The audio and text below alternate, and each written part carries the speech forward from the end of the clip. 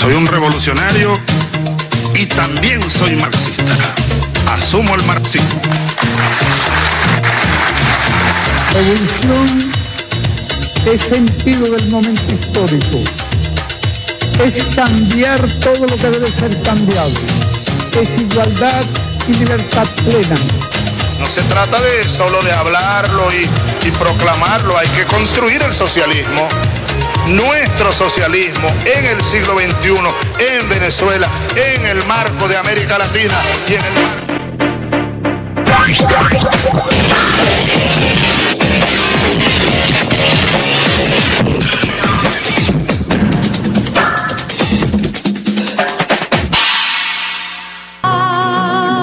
Bienvenido a la hojilla. Bien, este, por acá tengo dos libros que me hicieron llegar. Uno de Carlos Sierra. Si tienes, ponte este, la cámara un momento por aquí. Logros de la Patria, de Carlos Sierra, donde participa el pueblo.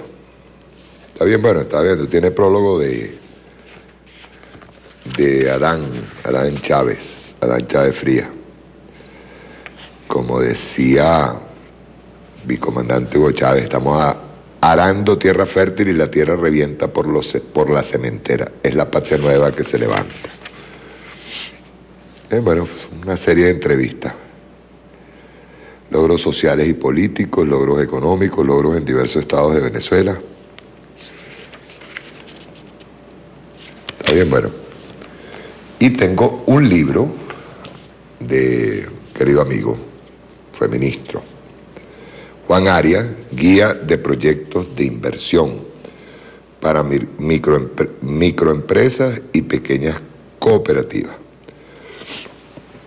Estaba leyendo una parte que me llamó la atención.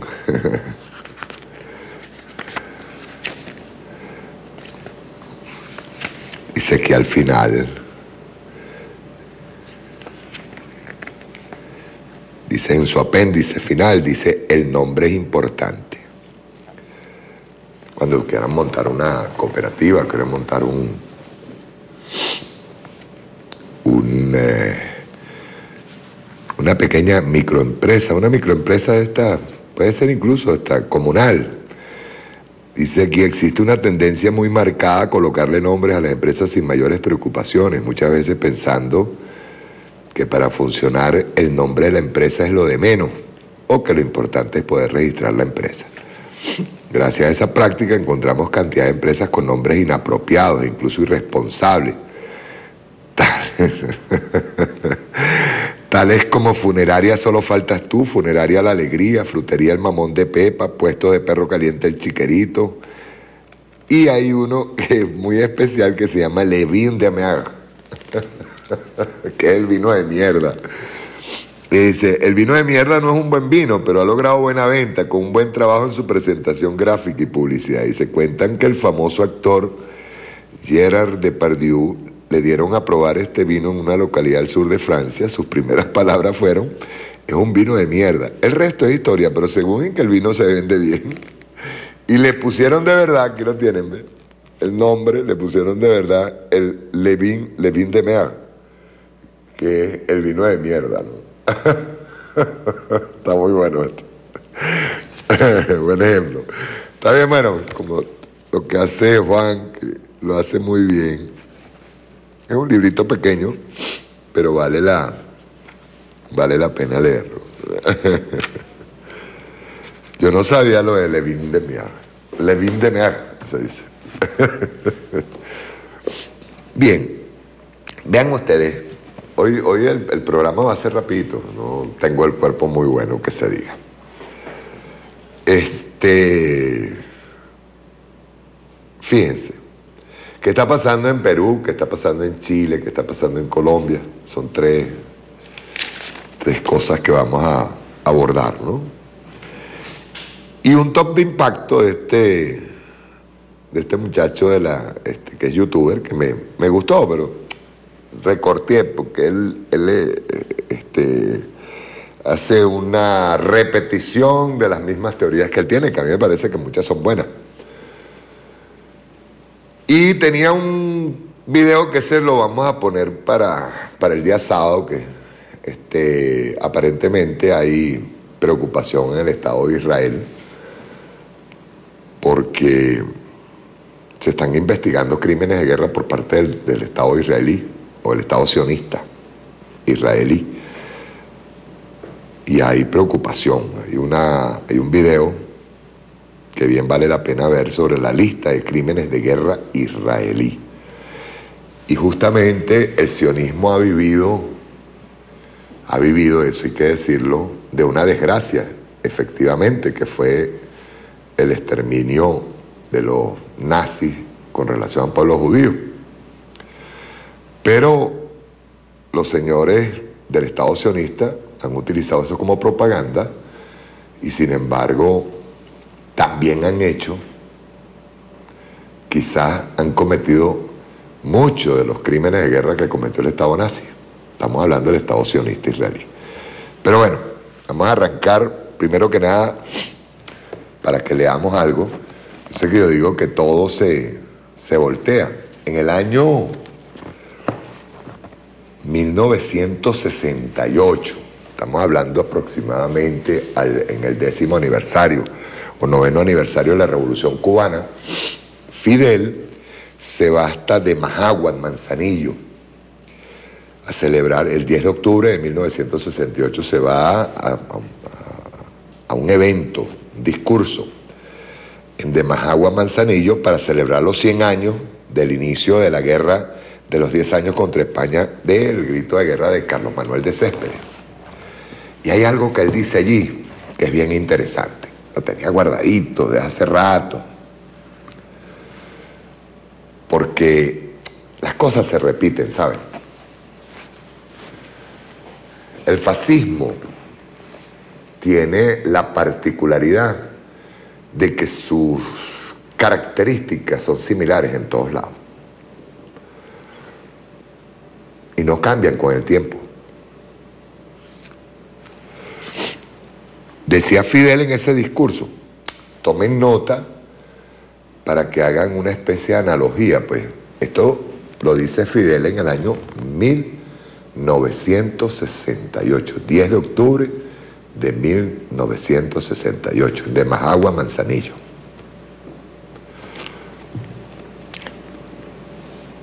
Él habla sobre el odio del enemigo, el odio manifiesto que se ha tenido en Miami. ¿Le suena? En contra de la revolución, ¿le suena? No solamente contra la de Cuba, en contra de la revolución nicaragüense, en contra de la revolución bolivariana, en contra de las revoluciones, Bolivia. Pero estamos hablando del año 1968.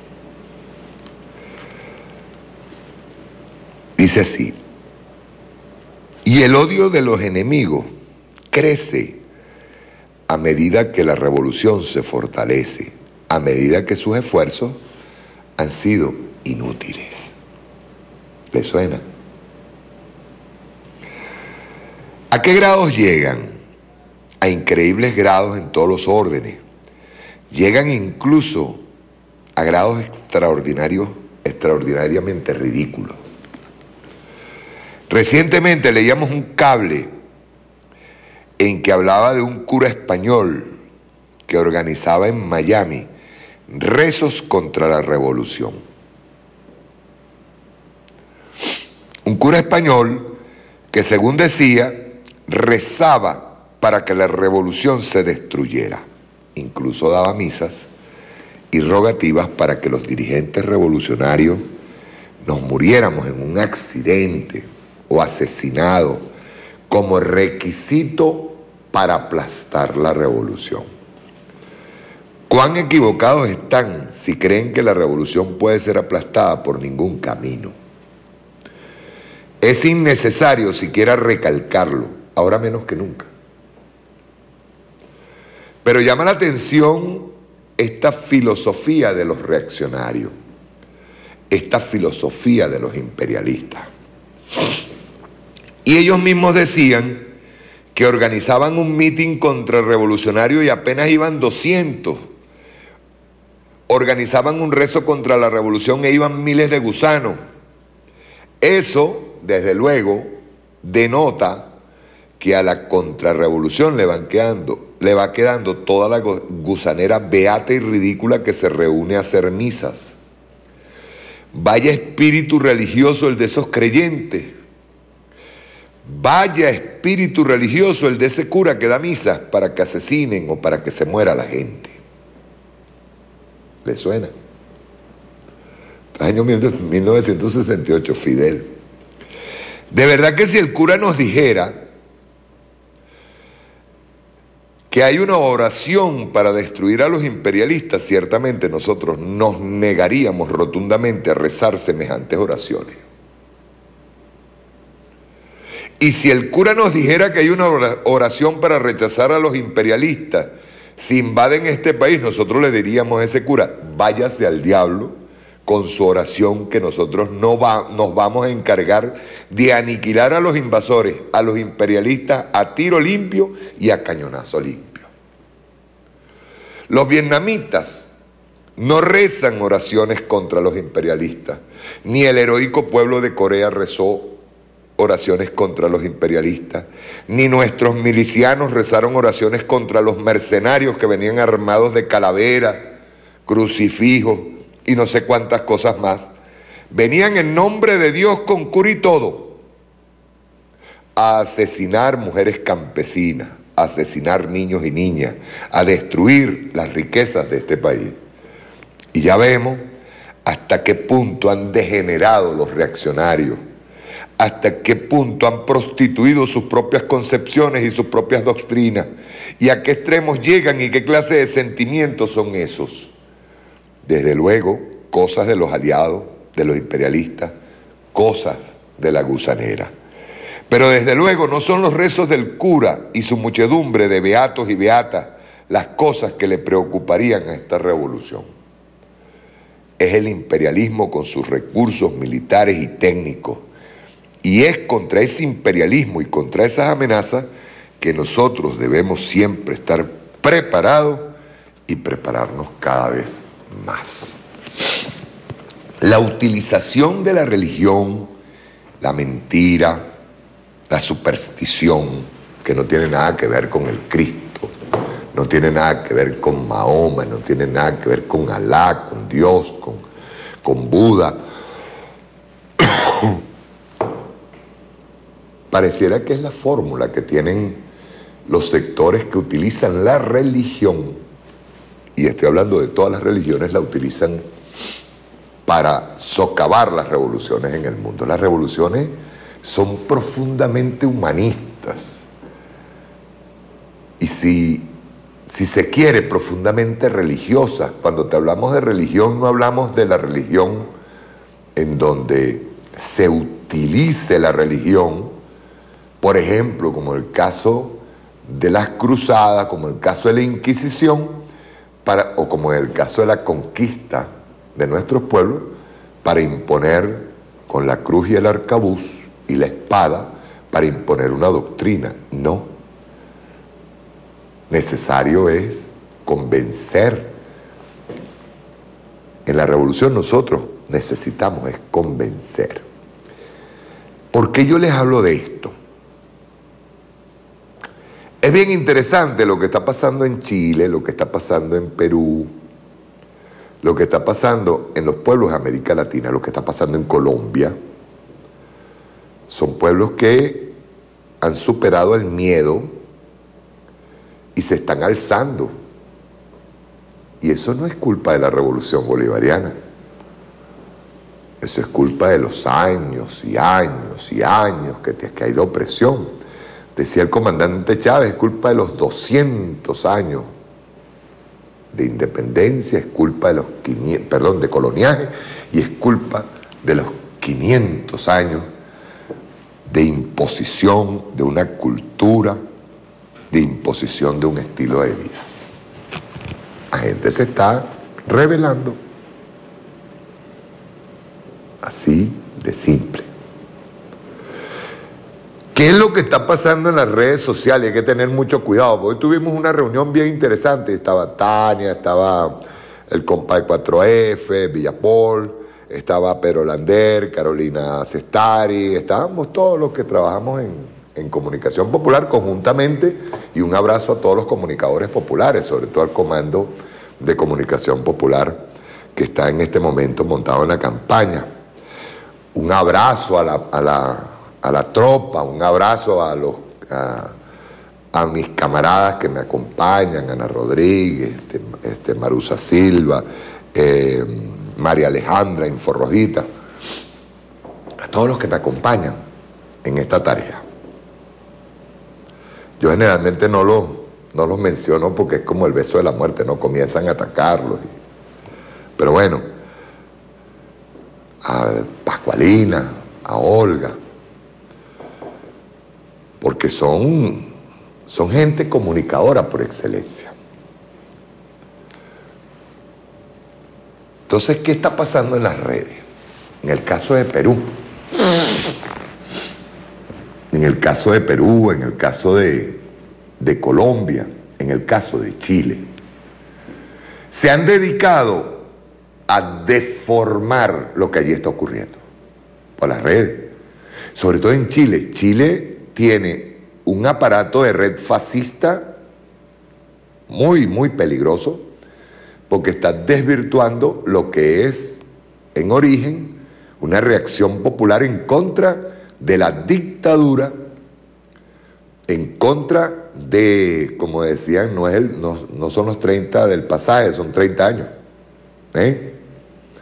contra una oligarquía férrea que pactó con Pinochet, hizo mm, una transición para salvarle el pellejo al dictador, y pactó con las Fuerzas Armadas, con los carabineros, que siguen aún hoy, a pesar del llamado al cambio constitucional, siguen y, que hay un... Este, Chile siempre ha tenido una larga tradición este, constitucional, institucional. Lo que pasa es que esos militares fueron perritos criados en las escuelas de las Américas.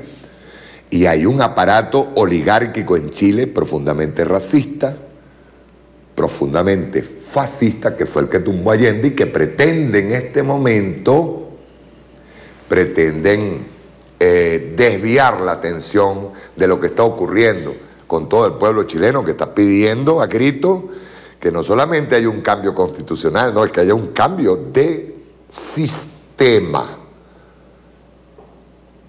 Y digo sistema lo recalco porque es el sistema lo que está podrido. No solamente la constitución, que era una constitución, es una constitución de Pinochet, sino es el sistema. Igual pasa con, los, con las redes sociales, unas redes bien entrenadas que hay ahorita mismo en, en Perú. Digamos usted, en una semana cambian tres presidentes, en una semana cambian tres presidentes que eso no le hace ninguna propaganda al seno de este grupito de Grima, perdón, el, grupo de Lima, no le hace ningún beneficio el hecho de que estén este, cambiándose presidentes así tan, tan rápidamente. Un sistema profundamente corrupto. Ahí no hay ni un presidente, ni uno, escúchese bien, no, no tengo ni siquiera que contarlo con las manos, no hay ni un presidente por lo menos los, los 30 últimos años, no hay ni un presidente que se haya salvado de ser considerado corrupto en Perú. Entonces, la, el, Congreso corrupto trata de meter a un presidente de la derecha.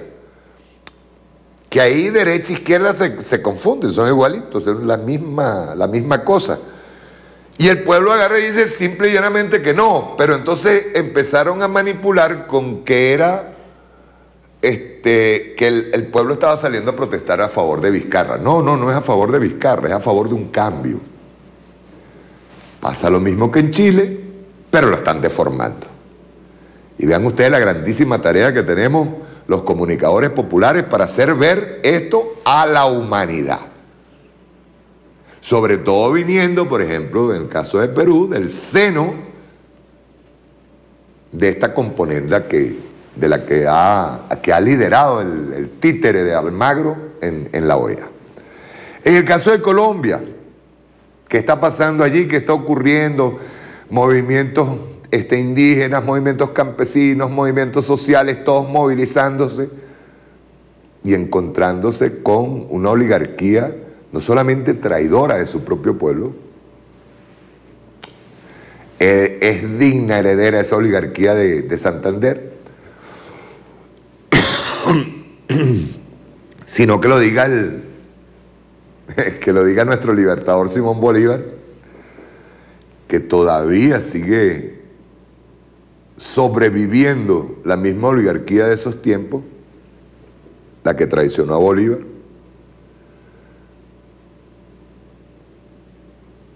¿Y qué está, qué está ocurriendo en Colombia? En Colombia se están sacudiendo el miedo de una oligarquía asesina que tiene a cosas como Uribe, cosas como Uribe, monstruos como Uribe, sobreviviendo a punta de entregarle la nación a los Estados Unidos. Esto es bueno que lo veamos hoy. No solamente el hecho de que tenemos la obligación de informarlo al mundo. El caso de España, España a veces, Europa, eh, Europa tiene un, un, una concepción de lo que es la democracia bien bien extraña. Dígame usted, en el caso de España es terrible. Y no entienden que no solamente la revolución bolivariana se ha convertido en faro mundial de lo que puede estar ocurriendo, que es una liberación a nivel mundial, una referencia a la liberación a nivel mundial, sino en toda Latinoamérica.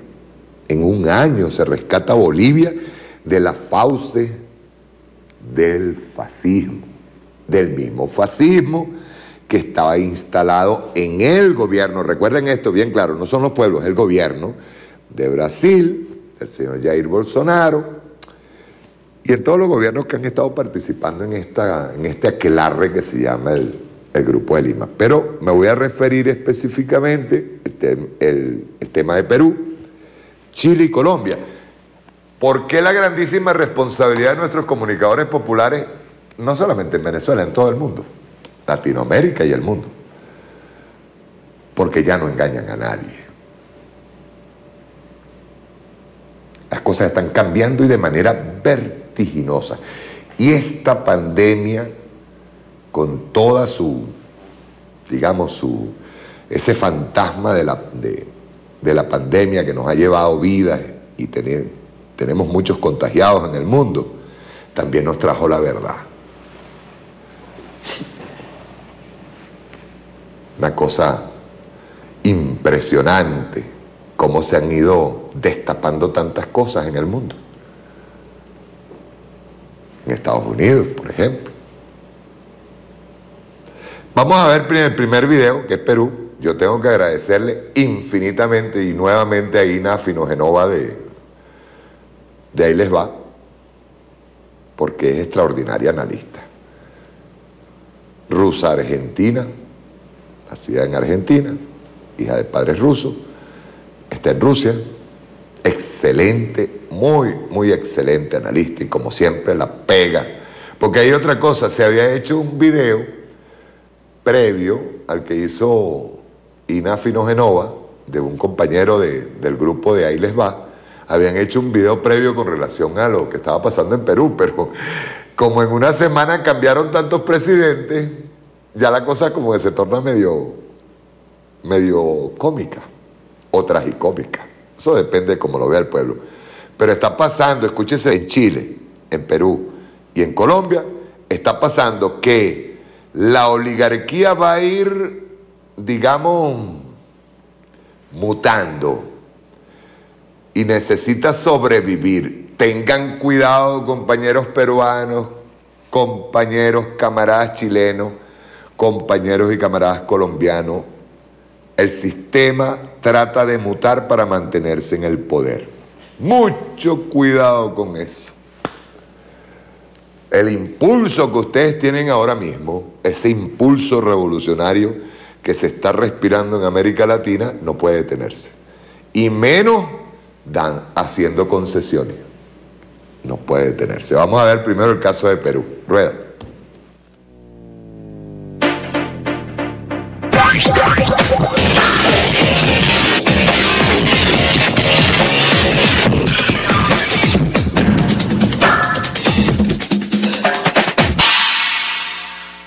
El presidente peruano Martín Vizcarra anunció ante el Congreso que...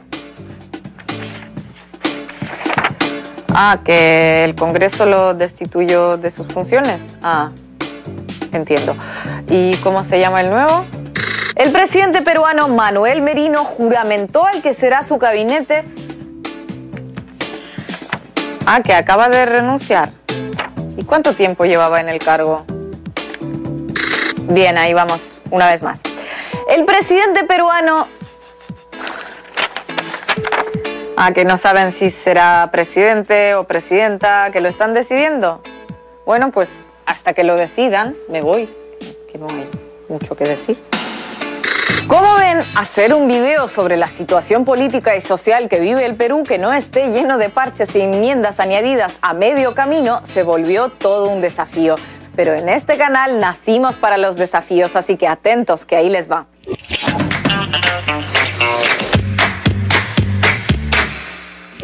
Manuel Merino, quien asumió el cargo de Martín Vizcarra antes de lo previsto inicialmente, quien a su vez había ocupado el lugar de Pedro Pablo Kuczynski antes de lo previsto inicialmente, renunció antes de lo previsto inicialmente. Me disculpan la cantinflada, pero no encuentro mejor manera de expresarlo.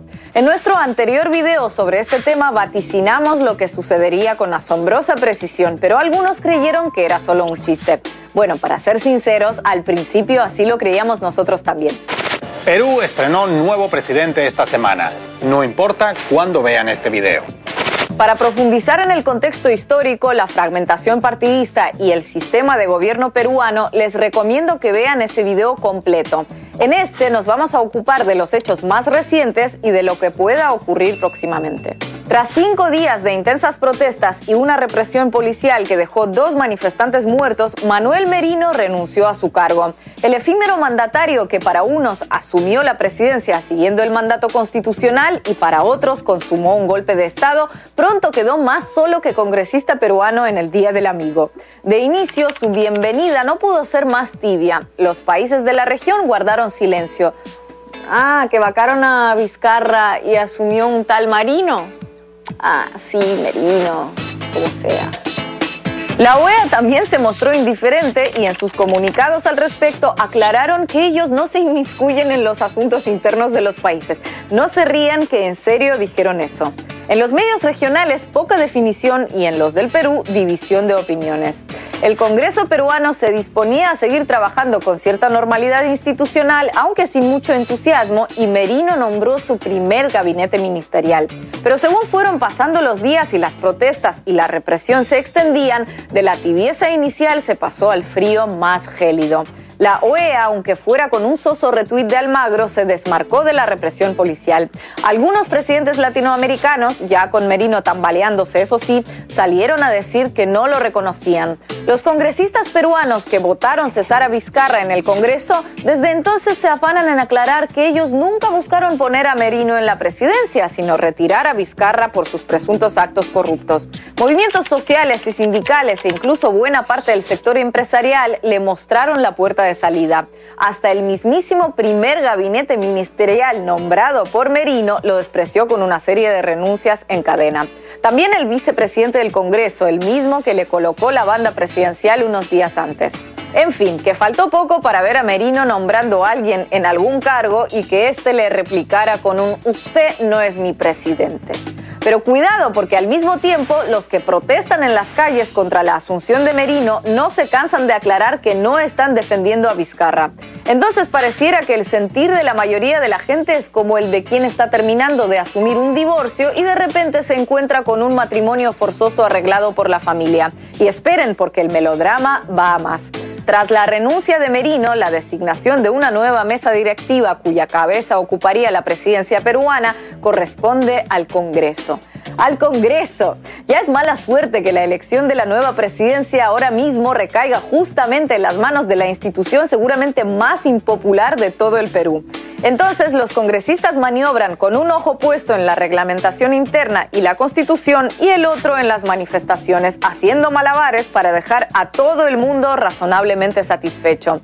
Tan complicado e improbable como que un viejo árbitro desprestigiado se gane los aplausos de todos los jugadores y del público después de sancionar un penalti en contra del equipo local en el último minuto. Sea quien sea el presidente y suponiendo que cumpla su mandato completo, a estas alturas seis meses en la política del Perú parecen una vida entera, estaría encargado de hacer cumplir el cronograma electoral que desemboca en las elecciones generales del 11 de abril de 2021. Entonces, ¿qué puede ocurrir ahora? Ojalá pudiera viajar al futuro y decirles, pero lamentablemente, aunque en este canal somos capaces de lo que sea para llevarles información, Ina de ayer. Soy la Ina de hoy, la del día siguiente a que grabaras. Nada, solo quería avisarte que desde entonces hubo novedades, el Congreso logró elegir eh, la mesa directiva y parece que Francisco Sagasti será nombrado nuevo presidente interino del Perú. Así que de momento todo apunta a que no habrá intervención del Tribunal Constitucional ni ningún Juan Quispeidó autoproclamándose en una plaza. Aunque ojo, eh, visto lo visto, yo que vengo del futuro, ni yo ya puedo afirmar nada. Gracias, Ina del futuro, por mantenerme al tanto. Reconozco que es información fresca, pero la verdad es que no cambia mucho el panorama de fondo. El descontento en la población y la desconfianza entre los diferentes partidos políticos y los sectores sociales ha llegado a tal punto que es difícil imaginar que vaya a solucionarse solamente con un nuevo presidente y un nuevo Congreso. Hoy el Perú pareciera vivir una versión extrema del que se vayan todos, donde prácticamente todo el mundo proclama ser parte de quienes gritan esa consigna, pero al mismo tiempo nadie se da por aludido. Ningún actor partidista parece querer afrontar su responsabilidad, no ya sobre la vacancia de Vizcarra, que al fin y al cabo es como obsesionarse con la gota que rebalsó el vaso e ignorar el resto del líquido, sino con la profunda crisis de gobernabilidad que se viene ahondando desde hace años. Entonces, con este estallido queda claro una vez más lo que la inmensa mayoría de peruanos no quiere, ni políticos corruptos, ni manejos turbios en las instituciones, ni perpetua inestabilidad en la presidencia. Pero el verdadero desafío no está en lograr tener políticos e instituciones respetadas por la población y un gobierno estable, sino sobre todo en cómo y quiénes van a definir el camino para conseguirlo. Parece que nadie quiere asumir la presidencia ya. Nosotros podemos agarrar un avión y mandarle a Guaidó para que asuma la presidencia y se autoproclame presidente del Perú. ¿Qué les parece? Se los propongo. Mandamos a Guaidó para que cumpla su sueño y entre a un palacio presidencial. ¿Les parece que se autoproclame allá? Porque aquí no tiene vida, aquí está frito. ¿Mm? Bueno, más allá del chiste, nuestra solidaridad con el pueblo del Perú.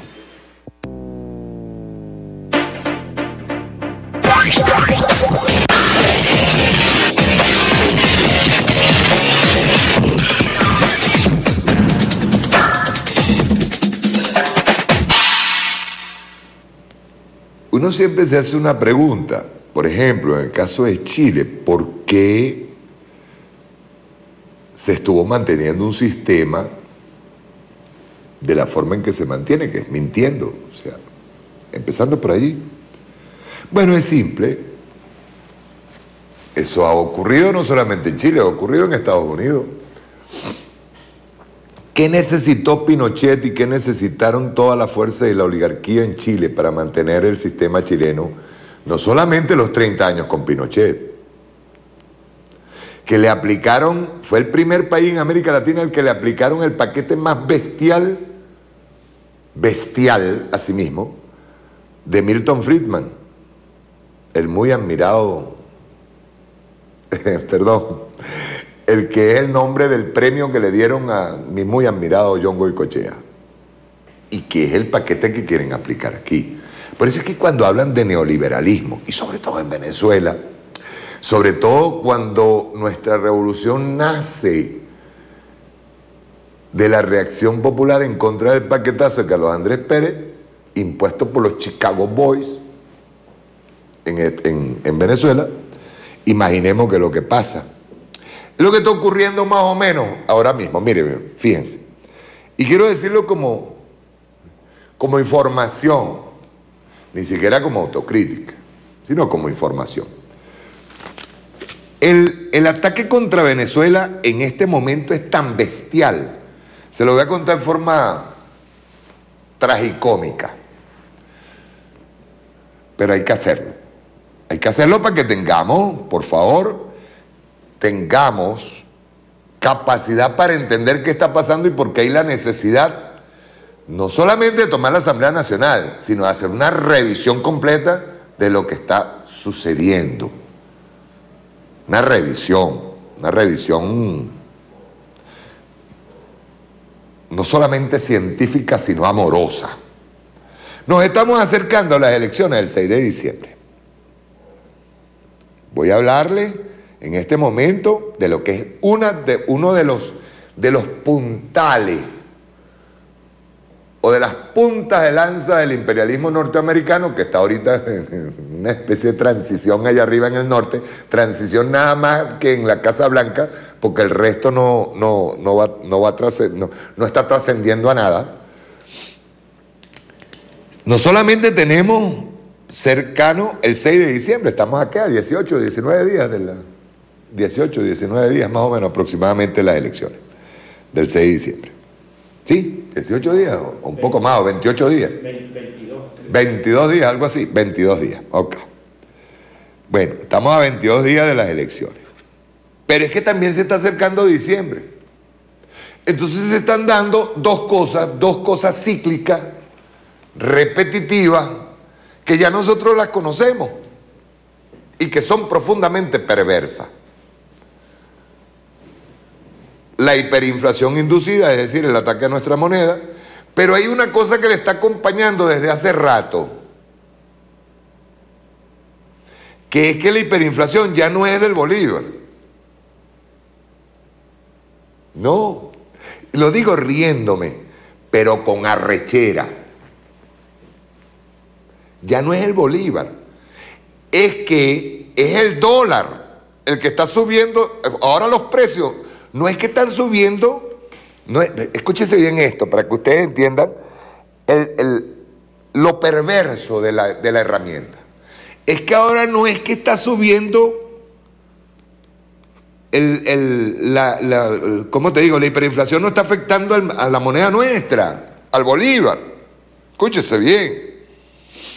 No, es que está afectando al dólar, a los precios de dólar.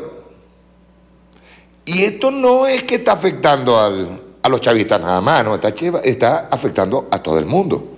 Por ejemplo, averíguame en cuánto está la moneda hoy, cuánto, cuánto tiene la, en cuánto está el precio del dólar hoy. Por favor, quiero. 666, el, la, bueno, 666, el número de la bestia, pues. Bueno, espérense un momentico, ya. Yo me traje el, el teléfono mío porque no lo veo. No sé si me lo traje. No, no me lo traje. Pero necesito urgentemente algo. Ya voy, porque. Por favor, es que no sé si me lo traje. Eh, eh, esto es bueno, me voy a detener en esto un momentico porque es, es imprescindible que lo haga. Ve bien, para que sepamos a qué estamos, a qué, qué es lo que estamos enfrentando, ¿me entiendes? Porque no es que con esto nosotros vamos a agarrar y vamos a, a- a desesperanzar al pueblo. No, no, no, no, es para que nos dé arrechera, ¿me entiendes? Para saber qué es lo que vamos a hacer el 6 de diciembre, para salir, para salir directo a tratar de rescatar esa, asamblea. Tengámoslo claro. Esto no es, esto no es una cosita así, porque hay mucha gente que agarra y dice, sí, pero es que, es que, ¿y qué vamos a hacer con eso? No, no, es lo que tenemos que hacer en la Asamblea Nacional. 666 me dijiste. Bueno, peor todavía. Espera un momentico, ya voy. 666.703. ¿Cómo? 666.73. No importa, vamos a, vamos a partir del hecho del 666. Está bien, bueno, pues el número de la bestia. Esto es para que lo sepa Steve Hank y todo el aparato que nos está atacando desde hace rato, desde afuera. Pero ya voy. No, y para, para que se le ocurre hablar de dolarización aquí, hay una dolarización de facto. Pero al que se le ocurra decir que, que nosotros necesitamos dolarizar y poner uno a uno el bolívar con el dólar, está loco yo, está loco. Como que no se ha dado cuenta de lo que está pasando. Que, lo- que existen, de paso. Espérense un momentico. Aquí estoy. Ajá. Fíjense. Yo tengo un, un- un- un- un trabajador que está conmigo desde el año 2008 aquí, pues, vive con nosotros aquí. A lo mejor está viendo ahorita, está viendo el programa ahorita sentadito ahí en la, en la casa. Pero es bueno que yo haga una referencia a Secape. Y el trabajador quiere visitar a su familia, pues. Cosa que es lógica, es obvia. Ellos, él quiere ir a visitar a su familia para un abrazo a su familia y, y pasar diciembre este, con, en su casa.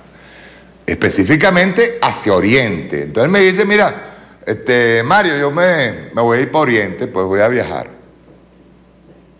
Y se va a la bandera. es que tengo que contar estos datos, compadre. Pásenlo para acá. Este, este, este, aquel no, mándemelo para allá arriba. Ajá. Y se va a la bandera. Y en la bandera, para que ustedes vean cómo nos canibalizamos, nosotros mismos. Porque hay gente inconsciente, pero inconsciente. Ojo, también que son nuestros. Son gente nuestra, llana, de la que tiene un autobús y aprovecha esta fiesta para meterse unos realitos, pues. Y llega mi compañero, que está conmigo del año 2008, y me dice, bueno, son 60 dólares.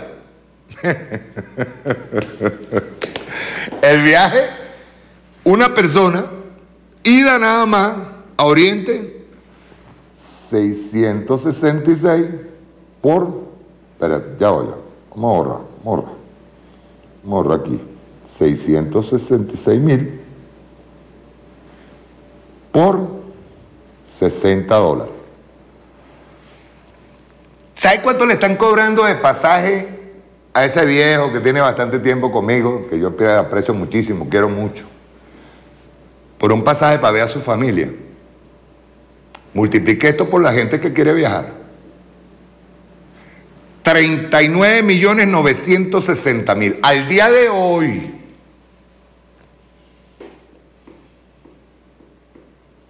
casi 40 millones de bolívares. 40 millones de bolívares al cambio. Un pasaje, uno, de ida nada más. Uno. La gente que quiere comprar algo ahorita, por ejemplo, X, Y, Z, ¿no? bueno, este, por ejemplo, te van a comprar un repuesto, un repuesto de un, carro, pues, 15 dólares, 20 dólares, y eso dependiendo, tú un repuestico pendejo. Ya voy, compadre. 15, 20 dólares. No me interrumpa porque ahorita tengo la rachera, pero en planta. ¿Verdad? Para que vean. Y yo no le estoy diciendo esto a los chavistas, le estoy diciendo esto a todo el mundo, para que sepa lo que vamos hacia allá, el 6 de diciembre, para que sepa por qué nosotros es necesario que lleguemos a la Asamblea Nacional y para que sepamos qué es lo que vamos a hacer. Ustedes te compran un repuesto, 15, 20 dólares. A mí, yo me he dado la tarea incluso de averiguar ¿Cuánto cuesta un repuesto mínimo? Bombillito. Un carro. Me, he dado la tarea de averiguar cuánto cuesta en Estados Unidos. Y resulta que en Estados Unidos, lo que aquí me quieren cobrar 15 dólares, 20 dólares, cuesta un dólar.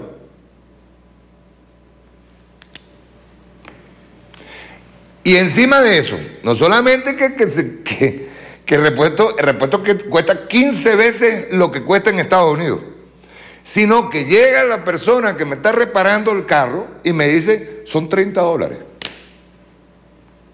Hasta eso Nos han deformado en la cabeza. Por eso el que me diga a mí que bueno, hay que dolarizar. No, no, no. Esto no se trata de dolarizar. Yo voy más allá, esto se trata de moralizar, de remoralizar. Porque el que está haciendo eso, desde el transportista que tiene un autobús y se está metiendo la bicoca, multiplique nada más, por favor, quiero que lo multipliquen. ¿Cuánto tiene una, una camionetica de puesto? ¿24 puestos? 32. Vamos a ponerle 24 puestos. ¿Una camionetica pequeña o una grande? 32 puestos. Una encaba, 32 puestos. 32 puestos, una encaba, ¿verdad? 39, 960 al día de hoy. ¿Por cuántos puestos me diste? 32. Bueno, el viajecito de esa camionetica, full, 32 puestos, desde la salida de bandera, un día, nada más que un solo viaje, escúchese bien, uno, ida, 32 puestos son la bicoca de 127, perdón, 1.278 millones 720 mil bolívares. Yo quiero hacer una sola pregunta. Dígame si esa vaina es racional. Voy a hablar con los alcohólicos en este momento. A los que le duele el alcohol, pues. A los que le duele la cerveza. Porque en eso anda. El ladrón putrefacto este de, de Lorenzo Mendoza. En eso anda. Y en eso andan los importadores de licor, incluyendo las compañías nacionales de ron. Nacionales. repetimos, ¿ve? el evento son las elecciones del 6 de diciembre y diciembre las fiestas de Navidad. Ve bien cómo nos están tratando de destruir moralmente para que nosotros nos arrodillemos y digamos, Leopoldo López, vente, vale, de España, ven para que te montes aquí. Una botella de ron, yo no voy a dar la marca aquí, pues. Una botella de ron. Yo no voy a decir ni siquiera la bagallo. Voy a decir una, una botella de ron de la que les gustan los sectores de las clases medias.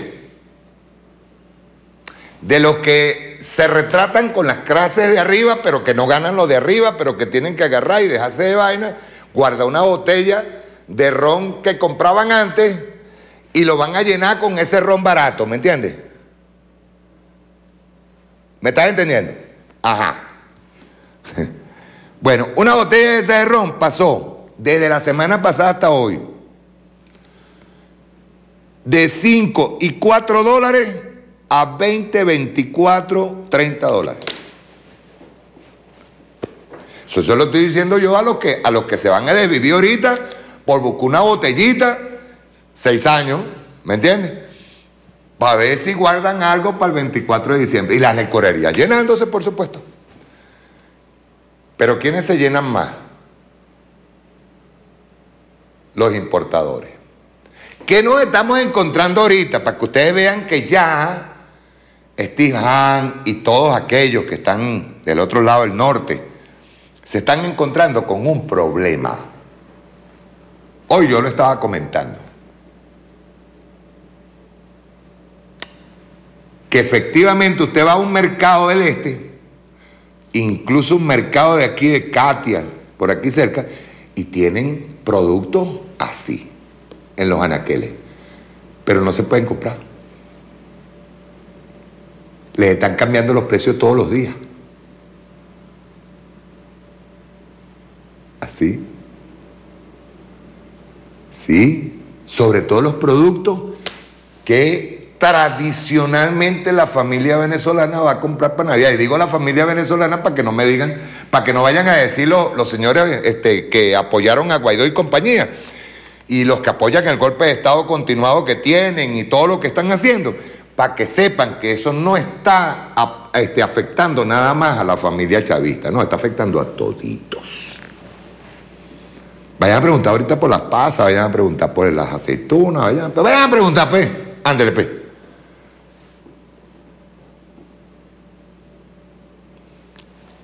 Y eso que dicen que nosotros vivimos en dictadura.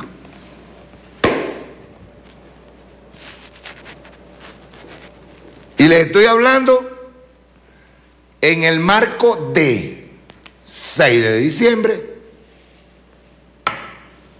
que son las elecciones, y Navidad. Y yo voy a concluir con una cosa. Me importa un carajo si salen por ahí los críticos que salieron ahorita, cuando yo tuve a Olga aquí. ¿Es culpa de la revolución? ¿O de verdad hay una guerra total contra Venezuela? Porque hay muchos que salen a criticar, pero no riman nada para el mingo. No dicen nada solamente buscan en un discurso electorero, buscan votos. No, este peo no es de voto. Este peo es de unidad de un pueblo. ¿Y sabes qué? Se lo digo, a los que están afectando la unidad y a los que creen que el imperialismo va a ganar. El pueblo va a buscar el mecanismo para que esto no siga pasando. Escríbalo. No solamente vamos a ganar la asamblea, sino que va a buscar el mecanismo para que esto no siga sucediendo. Por cierto, estoy advirtiendo desde ahorita, ya comenzaron a desaparecer también el gas doméstico. Sí. Vamos a buscar también a quienes están internamente afectando lo que es del Estado y es del pueblo. Ahora vamos a cambiar otra vez el tema. Vamos para el caso de Chile. Rueda.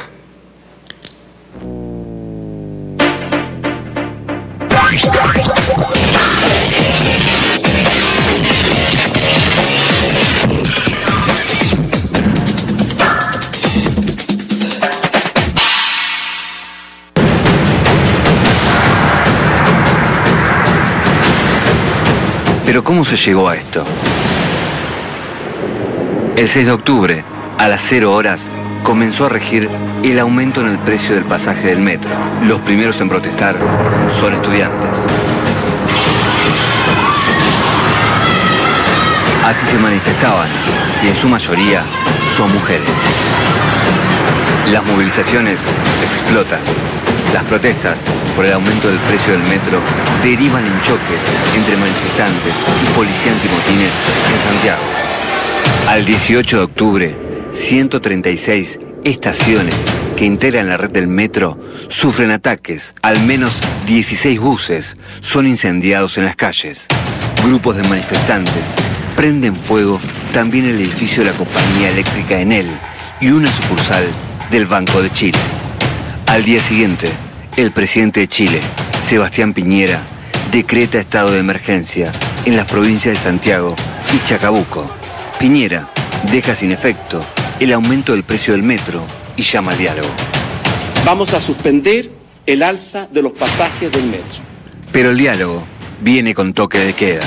He tomado la decisión de decretar la suspensión de libertades personales, de movimiento, través de un toque de queda total en las provincias de Santiago, Chacabuco y comunas de Puente Alto y San Bernardo.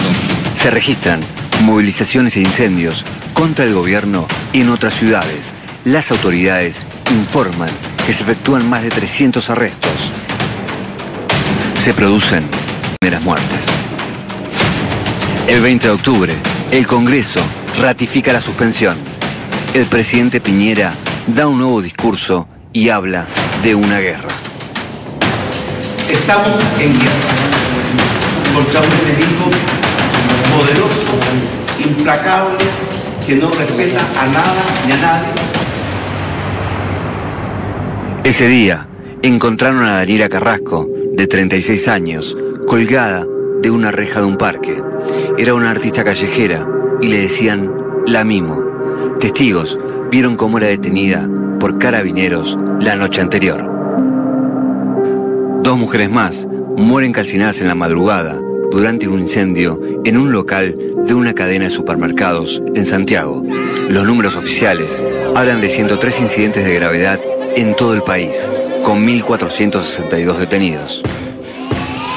El toque de queda en Santiago se impone por segunda noche consecutiva y se declara el estado de emergencia en otras nueve regiones del país. El saldo de muertes asciende a 11. El 21 de octubre se suspenden las clases en casi todas las escuelas y universidades de la capital. Las manifestaciones se reanudan al grito de militares afuera y no estamos en guerra.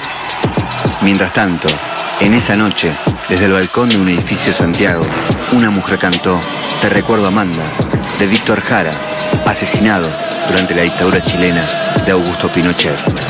Esto pasaba al final. El 22 de octubre se anuncia el paquete de medidas sociales, alza de las pensiones más bajas y congelamiento de tarifas de electricidad. Pero persiste el descontento. Los principales sindicatos y movimientos sociales del país llaman a una huelga general. Una víctima contó, me recorrieron el cuerpo con un fusil y me amenazaron con penetrarme con ese fusil. El 23, primer día de la huelga, siguen las concentraciones en varias ciudades. Exigen el cese de las medidas de excepción y que los militares regresen a los cuarteles. El 24 de octubre, el Instituto Nacional de Derechos Humanos hace un balance que arroja como resultado que 18 personas resultaron muertas, entre ellas un niño de 4 años. 535 resultaron heridas y se realizaron 2.410 detenciones. Se denuncian torturas. Me torturaron, weón, y estaba grabando, ni siquiera estaba tirando bien. Y todavía el toque de queda no empieza. Sebastián Piñera anuncia un plan para poner fin al toque de queda y al estado de emergencia. El 25 de octubre se realiza la marcha más grande en Plaza Italia, rebautizada como Plaza de la Dignidad, que reúne a más de 1.200.000 personas en Santiago. La actriz chilena Susana Hidalgo, cuando cae el sol, ve a un grupo de personas sobre el monumento al general Baquedano en Plaza Italia, levanta su cámara e inmortaliza en una imagen icónica el instante al cual tituló Revolución. Un día después, Piñera levanta todos los estados de emergencia del país.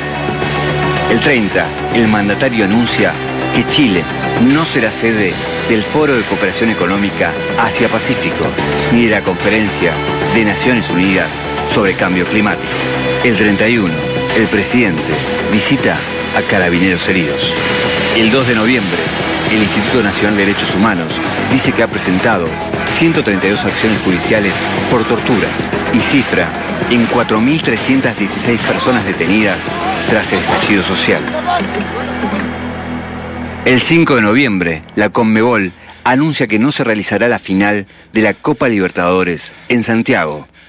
Durante la marcha del viernes 8 de noviembre, un helicóptero de las fuerzas sobrevuela el sector de Plaza Italia, cuando de repente un montón de luces verdes de láser surgidas de la multitud comienzan a apuntarlo. A través de Twitter, Carabineros realizó la queja pública y lo declaró un delito.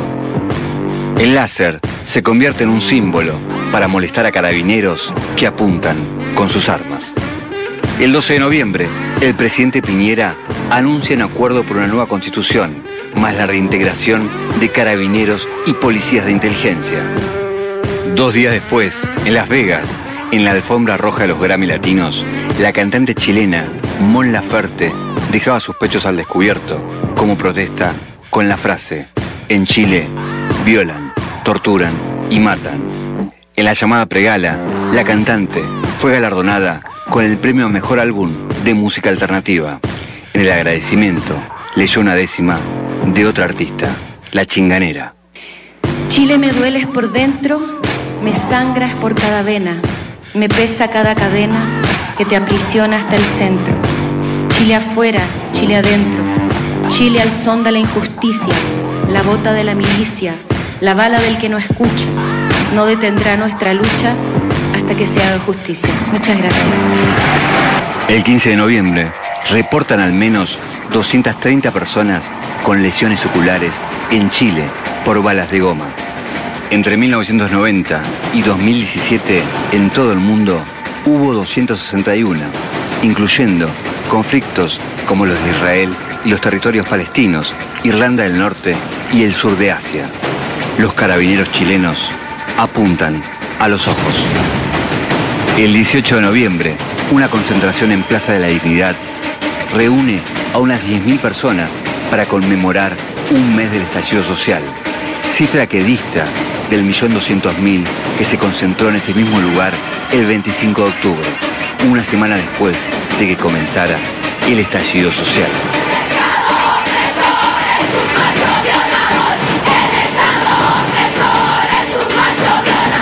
El plebiscito nació por el impulso de la calle que empujó a la clase política. De hecho, este 25 de octubre, día de la consulta, se cumple un año de la llamada Marcha Más Grande de Chile, que convocó a 1.2 millones de personas solo en Santiago. El disparador de la protesta social fue el aumento del precio del metro en Santiago, pero el pulso se mantuvo durante meses, pese a la represión policial por un reclamo mucho mayor. No son 30 pesos, son 30 años. ¿Se acuerdan? Un solo dato para que se hagan una idea. El 1% más rico concentra el 26,5% del total de la riqueza y el ingreso, según la CEPAL, lo que hace de Chile un país profundamente desigual y uno de los más desiguales en la región. Ahora, cambiar la constitución. ¿Puede cambiar esa realidad? Aunque no se trate de un simple borrón y cuenta nueva, la oportunidad de un cambio es real. El presidente habló de guerra y el país se transformó en campo de batalla, estado de emergencia, toque de queda, un sinfín de detenciones arbitrarias, miles de heridos y heridas entre los manifestantes, muchos con mutilaciones oculares y al menos 34 muertos, con casos de tortura, malos tratos, violaciones. Entonces, de alguna manera, el contexto represivo en el que nació la iniciativa de un plebiscito es el contexto en el que se va a concretar esa iniciativa. En el caso de Chile, la actual constitución fue implementada bajo el régimen de Augusto Pinochet, que instaló un modelo económico neoliberal diseñado desde Estados Unidos. Fue reformada numerosas veces desde entonces, pero nada que modifique su esencia. La constitución chilena mantiene las mismas estructuras ideadas durante la dictadura, que permiten, por ejemplo, una enorme concentración económica y la privatización de los recursos naturales, la sanidad, la educación, las pensiones. Cambiar la constitución es una oportunidad para volver a diseñar la distribución del poder el andamiaje social y económico y los derechos fundamentales y deberes de los ciudadanos y las ciudadanas. Es también para Chile una oportunidad de concluir la transición a la democracia que se inició 30 años atrás.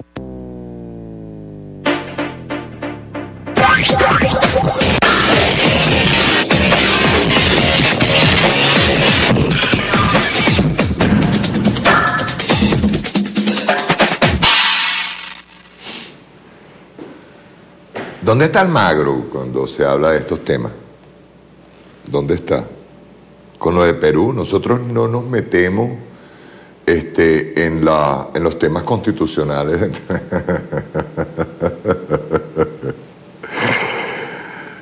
qué vergüenza, qué vergüenza. Pero hay que recordarle al pueblo chileno lo que, lo que ocurrió en la transición.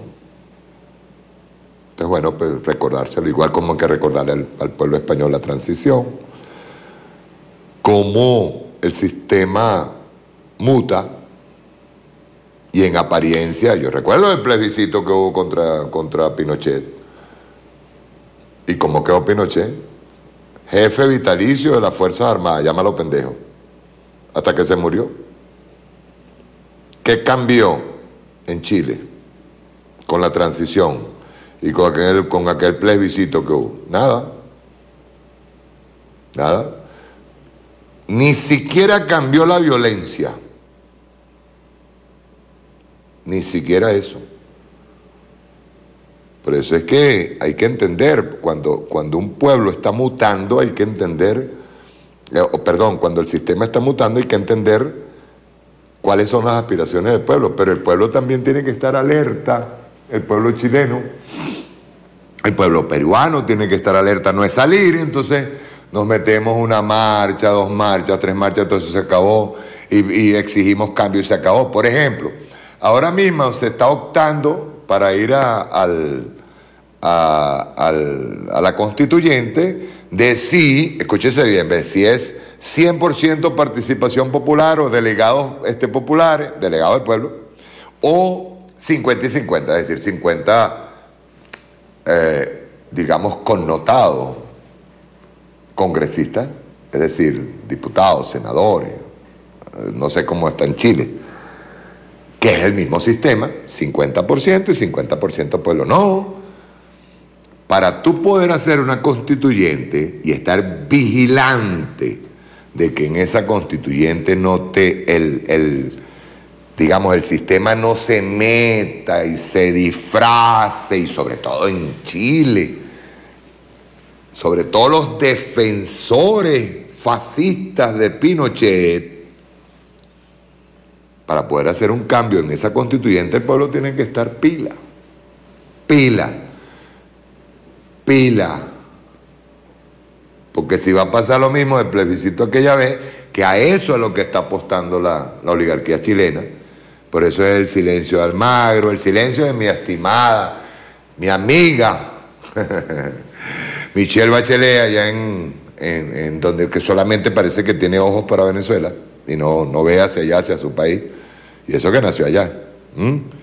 Este, no hay que estar pila, pendiente. El sistema es el que está proporcionando ahora mismo las herramientas. ¿Qué ustedes creen que va a pasar? Y va a venir una campaña brutal anticomunista, como la que hubo en Estados Unidos ahorita, hasta ahorita, pues. y sigue. Porque Trump todavía dice que él ganó. Es más, de hecho, si ustedes revisan las redes, ustedes ven a un Biden calladito. El sector demócrata está calladito esperando su 9 de enero, es que llega a Estados Unidos, creo que es el de- 9 de enero. Ustedes ven a los, a los demócratas aguantando calladitos. Pero hay, miren, desde Miami, sectores Daniel Lara Faría, Patricia Poleo, Aquaviva, un viaje de, youtuber diciendo que mira, casi está casi listo que Trump va, va, va a recuperar los votos. Y te sacan titulares en los videos que sacan en YouTube, titulares que dicen a punto Trump de, revertir. No, no, no, ya no está revertido. Biden ganó. Es más, de hecho, quiero, quiero decirle a Daniel Lara Faría, a Patricia Poleo, a Coaviva, a un bolsa que está por allá, creo que en Chile también. Bicho reaccionario, guácala. Da, da ganas de vomitar cada vez que lo, lo escucho. Fíjense, se los estoy advirtiendo de antemano. No es Trump, no es Biden, es el sistema. El sistema necesita sacudirse a Trump. Porque es que le está creando demasiadas complicaciones. Coño, le, le alborotó el gallinero, ¿vale? Ricky Ricón les alborotó el gallinero. Y necesitan callarle la boca. Ese sistema necesita otra vez enconcharse. Y se van a dar cuenta por, lo- por, el último video que yo les voy a pasar. Vamos con Colombia, las masacres, por cierto, Bachelet, ¿dónde andará? Almagro, ¿dónde andará? En las masacres en Colombia, ¿verdad? O lo que está ocurriendo en Colombia. Que también hay un sector reformista allí, hay un sector que está tratando de, de acompañar la mutación de esa oligarquía que está asustada. Y sobre todo con la salida de, de su compinche gritón, este, Ricky Ricón. Pero vuelvo a repetir, no es Ricky Ricón. No es Ricky Ricón. Yo creo que ya el mismo sistema norteamericano, que no le gusta verse en evidencia, ya está pensando muy seriamente en ver cómo así se deshace de Uribe. Y claro está, esa oligarquía tiene a sus otros capos. Lo que pasa es que Uribe debe saber muchísimo de los gringos. que no, que no sabrá Uribe de los gringos. Pero ahí van a mutar, van a mutar. Vamos a ver este último con Colombia. Rueda.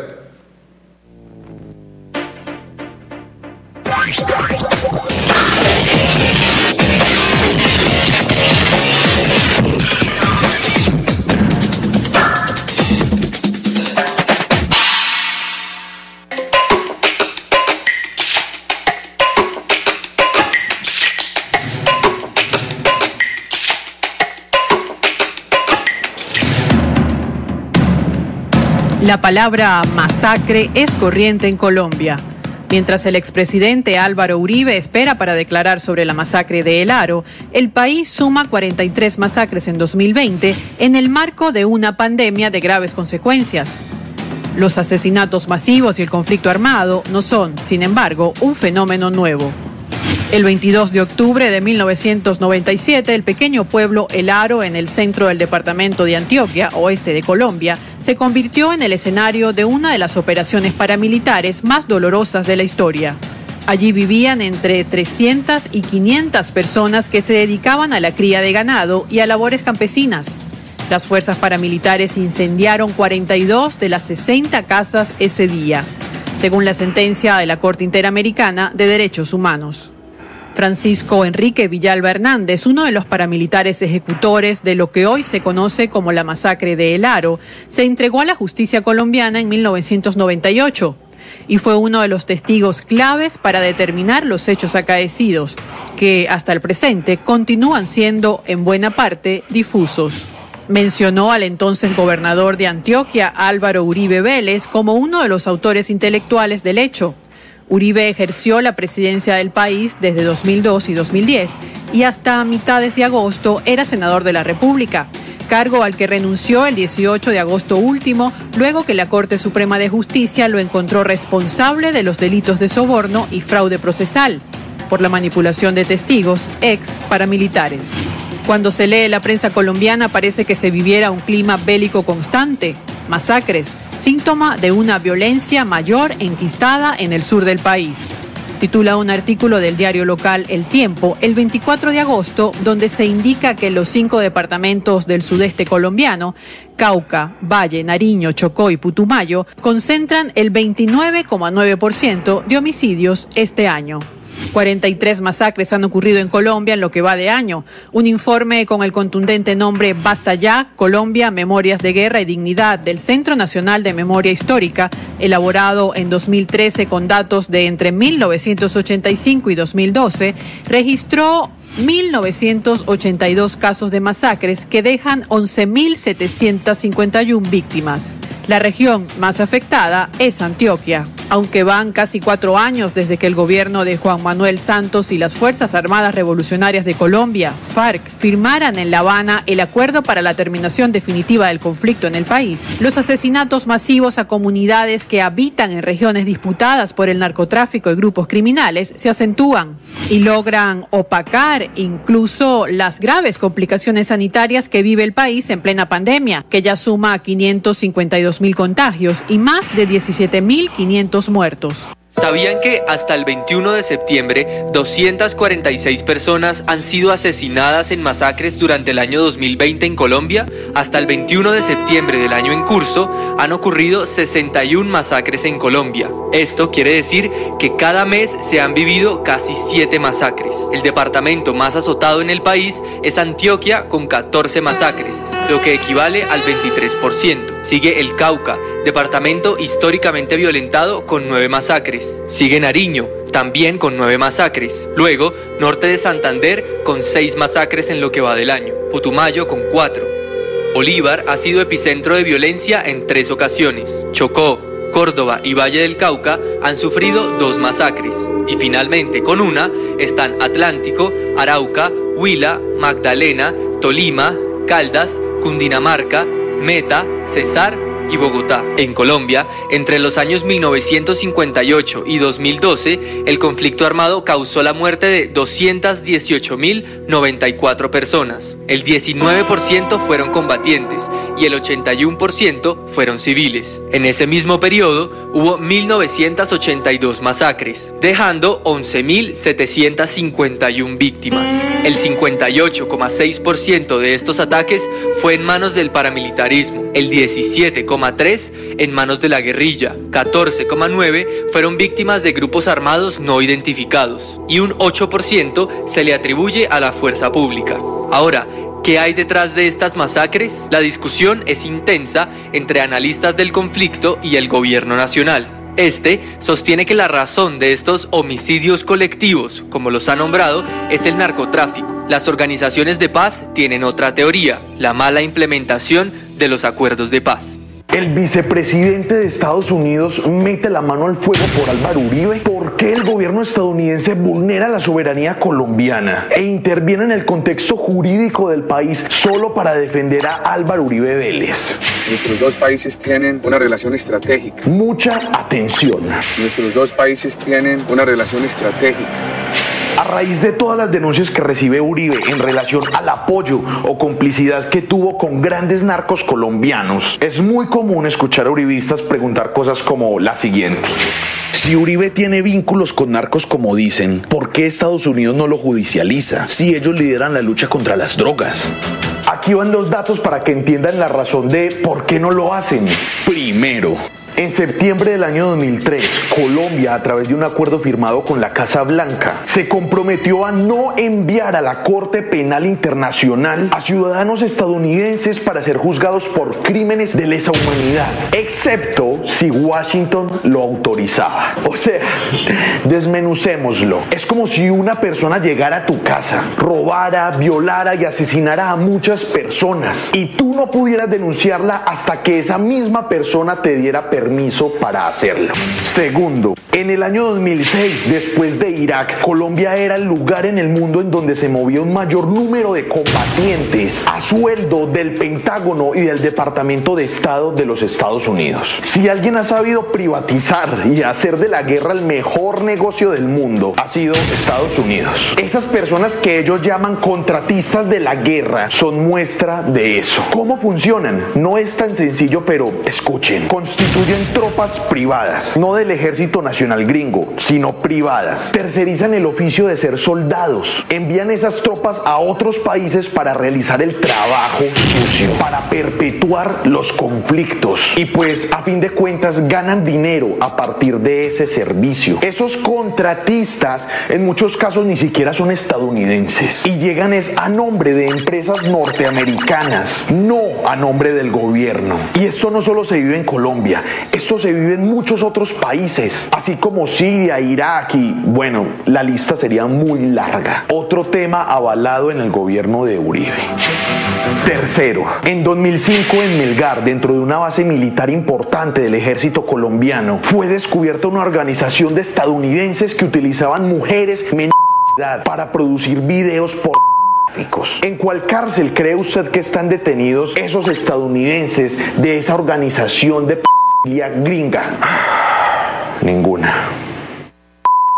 Y todas estas dinámicas de beneficio e impunidad internacional, sea de contratistas, de soldados o de lo que sea, fueron aprobados en pactos internacionales firmados en gobiernos colombianos como el de Pastrana y Uribe. En medios internacionales se habla incluso de cómo militares estadounidenses violaron impunemente a 54 colombianas entre el 2003 y el 2007 nada más.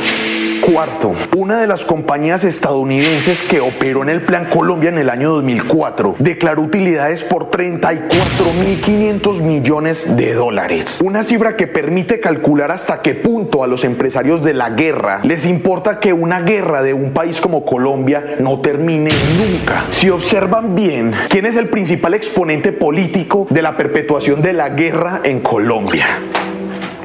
Dean Corp, Blackwater USA, Irink Inc., Monsanto, Lockheed Martin, Vinyl Corp, Armor Group, mucha gente comiendo de cuenta del sufrimiento de otros. Quinto, Monsanto, glifosato y el planeta Alcalá. Mientras en el año 2000 había que fumigar con glifosato 3 hectáreas de cultivos ilícitos para erradicar solo una, en el 2005 hubo que fumigar 22 para erradicar una también. Es decir, la fumigación aérea de cultivo de coca no solo es ineficaz, sino que es destructiva tanto para la naturaleza como para el ser humano.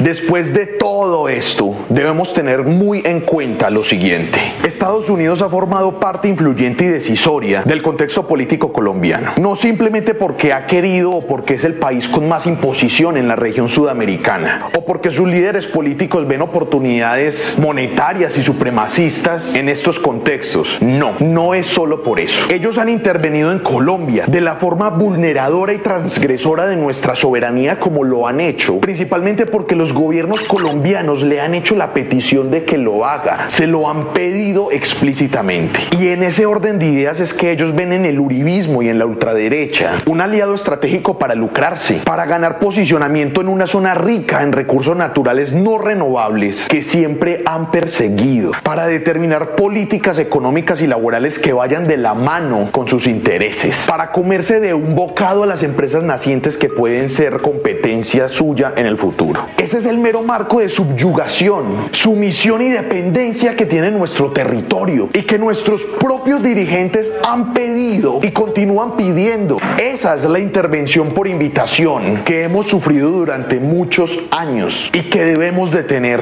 ahora mismo.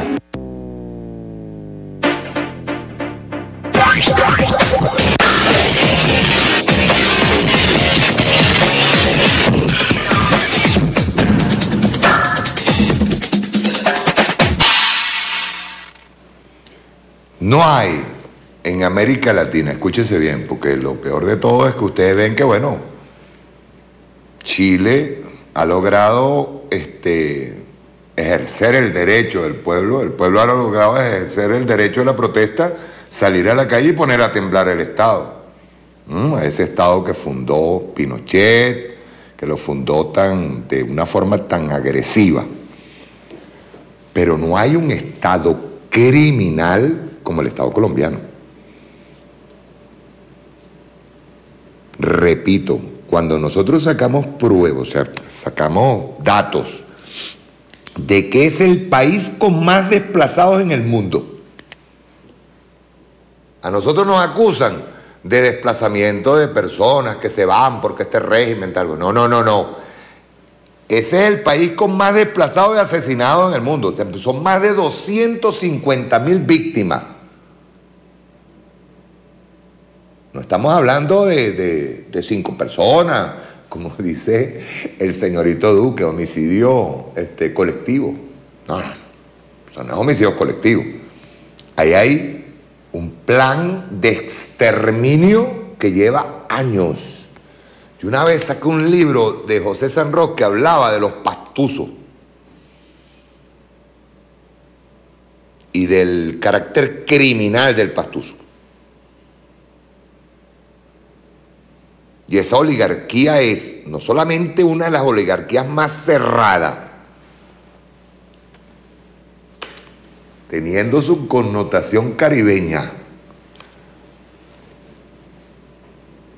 y, y, hacia la costa del Pacífico, sino es una de las oligarquías que aún hoy, aún hoy ejerce la violencia criminal en contra de su propio pueblo de manera impune y protegido por los Estados Unidos.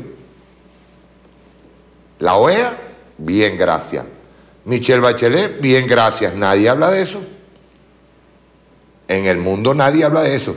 En Colombia se exterminó, escúchese bien, la palabra exterminar queda bien cuadradita ahí. Y su connotación.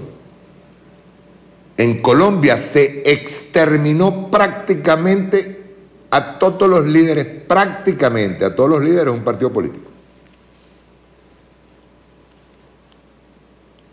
Se exterminó a sí mismo. Candidato, candidato, es más, te asomaba candidato que mataban. Esa es la oligarquía colombiana.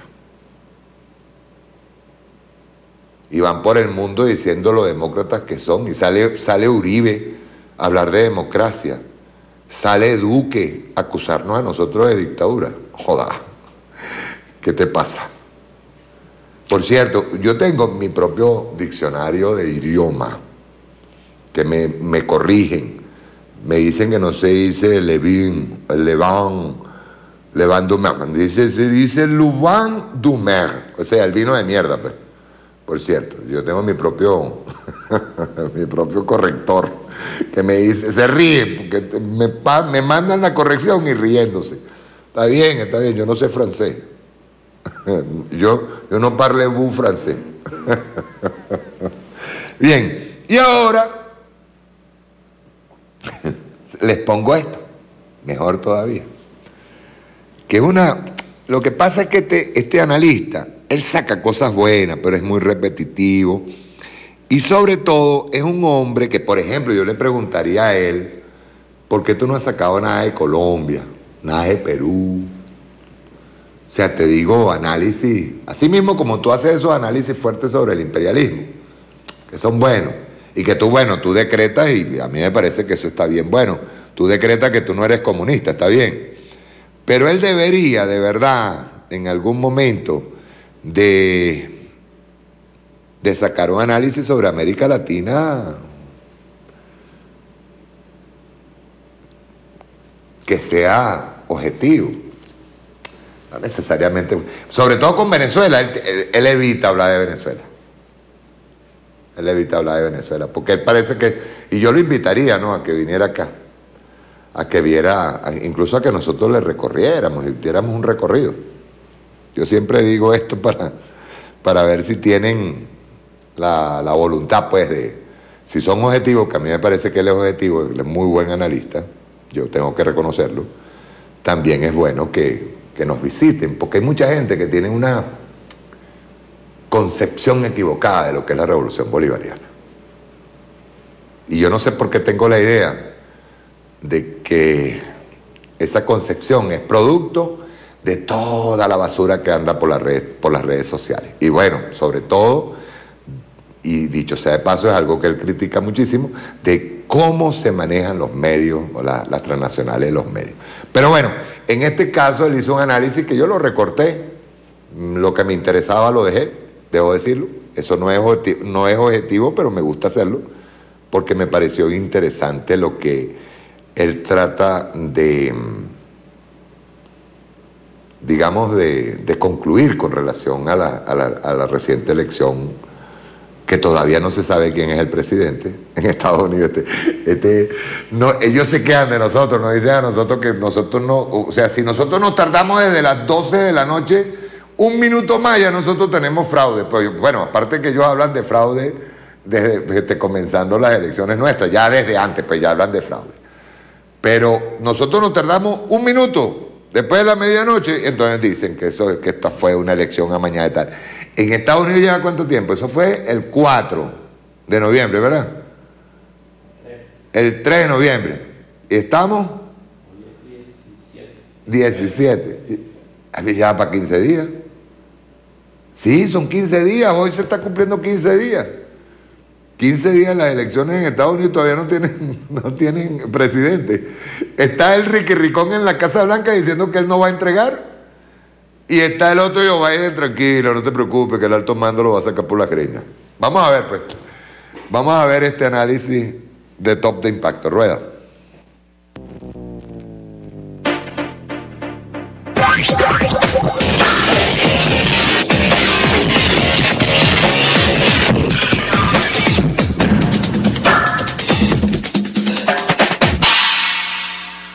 Joe Biden, que está lejos de ser ideal para todos sus 75 millones de votantes, llegó a ser el candidato del Partido Demócrata porque el establishment del partido cayó en un pánico colectivo por los éxitos de Bernie Sanders e hizo hasta lo imposible para que Biden fuera nombrado como su candidato. Ni Estados Unidos es tan democrático como creen y el Partido Demócrata mucho menos. Muchos votantes aparentemente votaron por Biden en las presidenciales porque quieren que el país vuelva a un estado político normal tras cuatro años del polémico Donald Trump. Esta promesa de Biden de volver a la normalidad política al país parece que le funcionó de manera muy efectiva, puesto que fue suficiente para sacar de la Casa Blanca al presidente más polémico de la historia de Estados Unidos. Pero de las promesas a los hechos, en política hay mucho trecho. No son pocos los que creen que una vez que los demócratas celebren la victoria y despierten con resaca, se darán cuenta de que alcanzar el éxito que Biden ha prometido es una tarea imposible para su nuevo presidente. Veamos por qué. No hay elecciones presidenciales más importantes en el mundo que el de la primera potencia mundial. País que mete sus narices en cada rincón del mundo y cuya política exterior puede beneficiar a uno si gana fulano y afectar a otro si gana sultano. Lo cierto es que en los temas clave de política exterior, en los más importantes, muy poco cambiará bajo la administración Biden. Aquellos que reciben millonarias propinas para puestos altos pertenecen al núcleo de la política exterior y el establishment de seguridad de Estados Unidos. Ese establishment no es un mito. El asesor de Obama, Ben Rhodes, admitió en su tiempo la existencia de una poderosa estructura institucional pública y privada que controla la política internacional de Estados Unidos y se animó a llamar a este poderoso grupo como La Mancha haciendo referencia a una película de terror de los años 50, en la que un ser engulle todo lo que encuentra a su paso. Este hombre se atrevió a hablar sobre la asombrosa habilidad de la mancha para denigrar a cualquiera que intente cambiar su actitud hacia el mundo. Y está interesada más en dividir que en unir, más en la guerra que en la paz. Un buen ejemplo de esta mancha, por cierto, estuvo personificada hace unos años en su cara más visible con Hillary Clinton y, por ejemplo, su famoso vinimos, vimos y él murió, cuando asesinaron al líder libio Muammar Gaddafi. We saw, he died. La política estadounidense hacia Rusia y Corea del Norte no cambió ni un solo ápice. Las sanciones injustificadas contra estos dos países estuvieron a la orden del día. Putin lo dijo en su momento, nos da igual quién gane en Estados Unidos porque su política exterior no va a cambiar. Parece que el presidente ruso está al tanto de la mancha. Si hablamos en concreto de la política de Trump hacia China y el deseo de evitar nuevas guerras, los nuevos demócratas aceptan esta línea y lo más seguro es que Biden sigue esta política por lo que China no debe relajarse al pensar que con Biden se sentarán a comer dulces. La guerra comercial no ha terminado, quizás se alivie un poco, pero los cambios no serán sustanciales. ¿Por qué?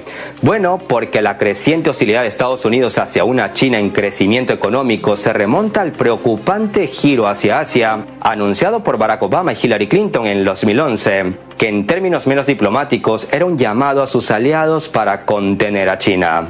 El despliegue de nuevas tropas estadounidenses en el este de Asia, el desarrollo de nuevos sistemas de armas para su uso en las aguas costeras de China, el desarrollo de asociaciones con la India sabiendas de que es un país que mantiene históricos desencuentros con China, todo esto sucedió durante la administración Obama. Esto no es cosa nueva de Trump. Lo que pasa es que Trump es políticamente incorrecto, poco diplomático Así que Biden en este sentido seguirá la línea de Trump, que no es otra cosa que la línea de Obama, línea que es diseñada por la mancha y los presidentes como buenos títeres simplemente deben cumplir. El establishment no muestra la más mínima intención de buscar compromisos con China, porque es la que está desbancando a Estados Unidos del trono hegemónico mundial, ni tampoco busca compromisos ni con Rusia ni con Corea del Norte porque al declarar las amenazas les vende humo, armamento y seguridad a sus aliados en Europa y en Asia. Y es que Corea del Sur y Japón han venido pagando millonarias sumas de dinero durante décadas a Estados Unidos, y es un dinerito que Biden no se puede dar el lujo de perder. Para que se hagan una idea, Corea del Sur cubrió el 92% de la reubicación de los comandos estadounidenses a nuevas instalaciones fuera de Seúl, por un valor de 10.700 millones de dólares, y compró por miles de millones de dólares equipos militares estadounidenses. Por su parte, Japón aporta 2.000 millones anuales para el mantenimiento de 54.000 efectivos estadounidenses. Compra el 90% de su equipamiento militar a empresas estadounidenses y destina 19.700 millones para la construcción de tres nuevas bases. En la mayoría de los países europeos, tras la tan anunciada elección de Joe Biden como nuevo presidente de Estados Unidos, dieron un suspiro de alivio y quizás hasta celebraron con champaña la derrota de Trump. Finalmente, el show de cuatro años ha terminado, dijo el ministro de Exteriores de Luxemburgo, mientras que el jefe de la OTAN, el señor Stoltenberg, cree que Biden apoyará activamente la alianza militar.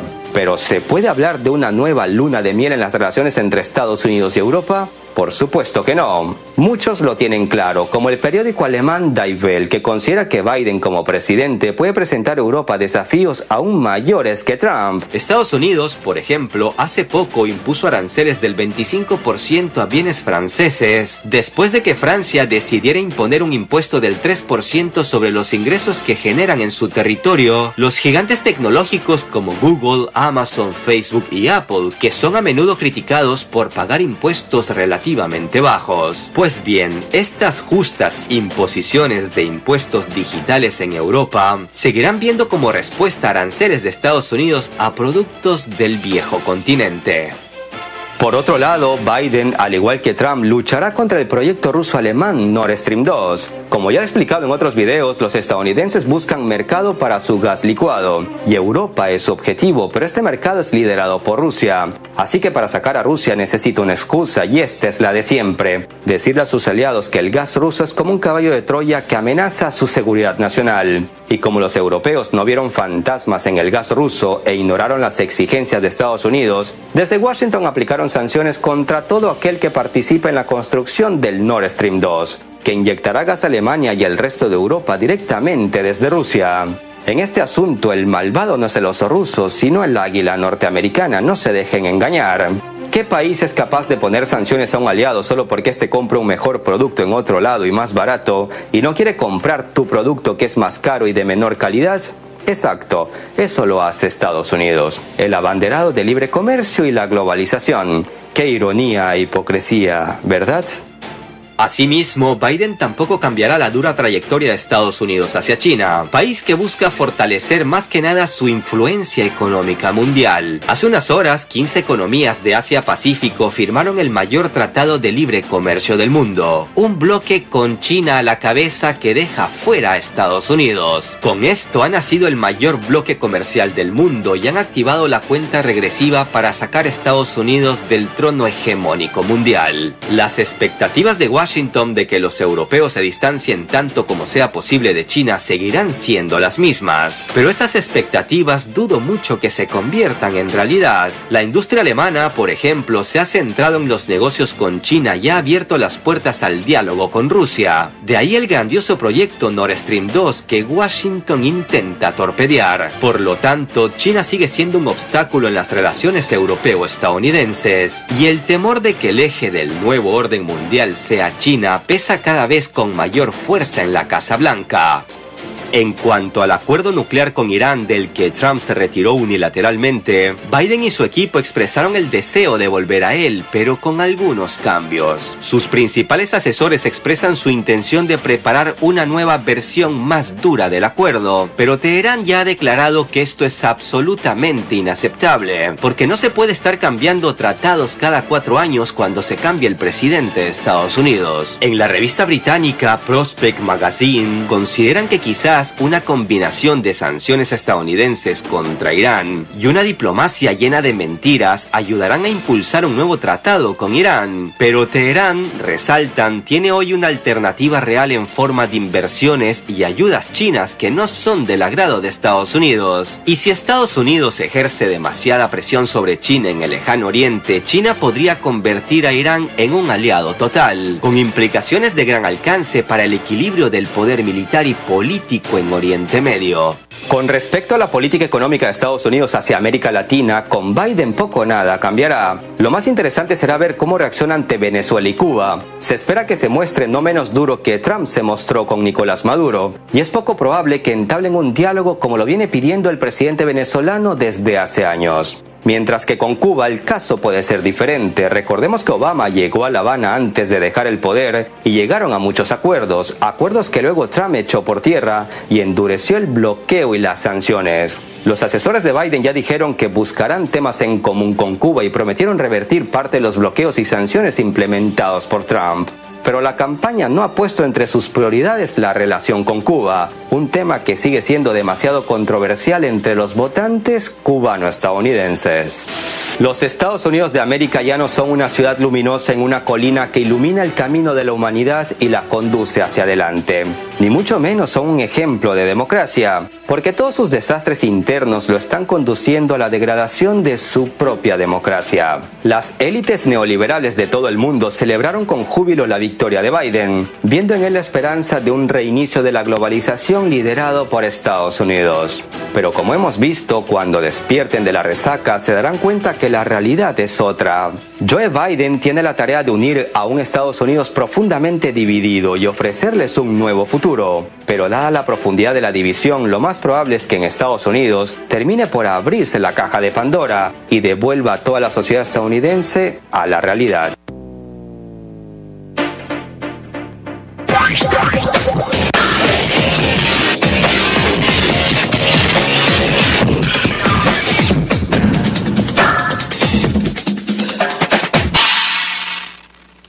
Demasiados latinos en Estados Unidos para... y sobre todo la Florida, la Florida. La Florida es la joya de la corona de ambos partidos. Hay que decirlo de esa forma. Es la joya de la corona. Bien, llegamos hasta aquí. Muchas gracias por estar con nosotros. Hasta el próximo sábado. Chao.